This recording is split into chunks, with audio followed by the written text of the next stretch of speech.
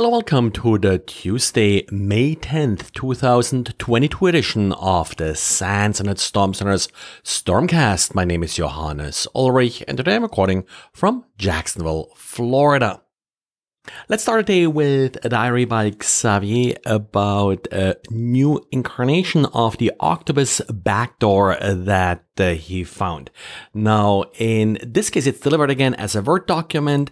The Word document itself appears to include PDFs as embedded documents, but it's actually not PDFs. It just uses the PDF extension and logo. It's actually a good old batch file that is then executed by clicking on it. And Xavier does a good job going through the obfuscation and how to sort of decode it.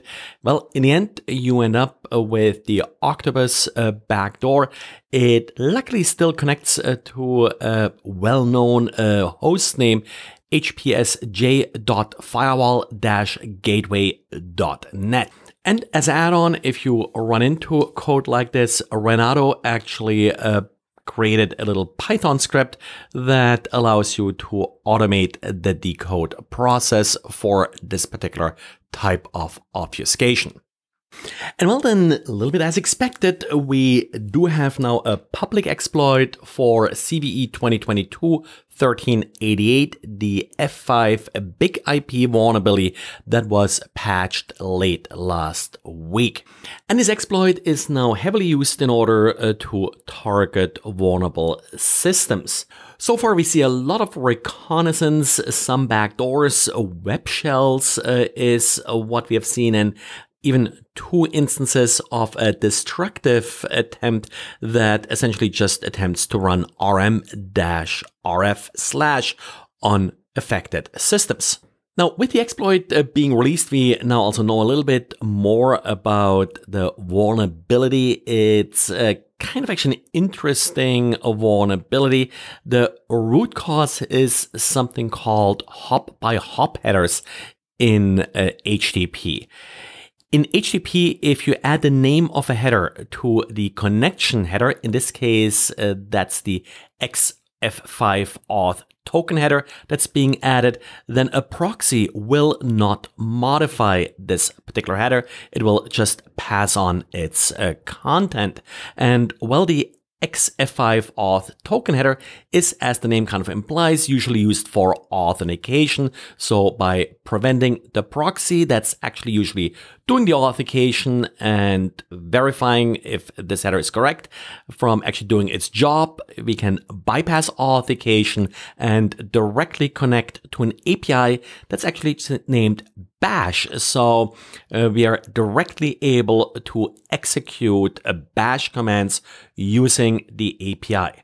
What sort of puts the final nail into all of this is that the web server is running as root, which of course means that the sky's the limit as far as exploits go. I'll link in the show notes uh, to a Python script published by Horizon 3 AI. Uh, that's the group that initially uh, found the exploit here. And uh, also I tested that exploit and it works uh, just fine.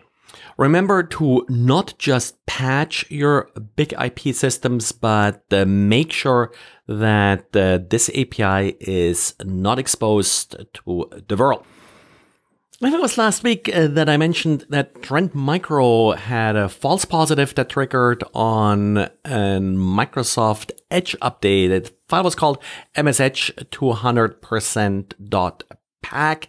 And well, in addition to basically blocking uh, this update, it appears that Trend Micro also modified some registry settings. So if you were affected by this false positive, uh, take a look at Trend Micro's help page that walks you through restoring some of uh, the modified registry entries and in general how to recover from this false positive.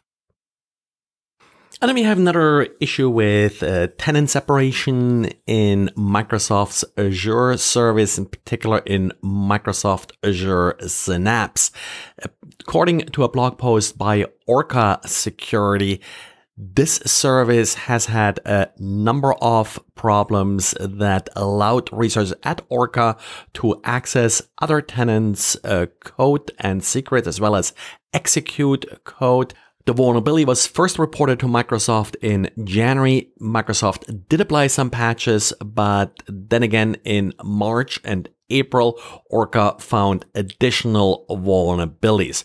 While Microsoft has deployed updates uh, to Synapse. According to Orca, this is really more sort of a structural architecture issue with the service. And well, if you're using the service, then just check out Orca's blog for further details so you can make up your own mind about it. I'll also link to the Microsoft knowledge base articles about this particular issue. Well, that's it for today. Thanks again for listening and talk to you again tomorrow. Bye.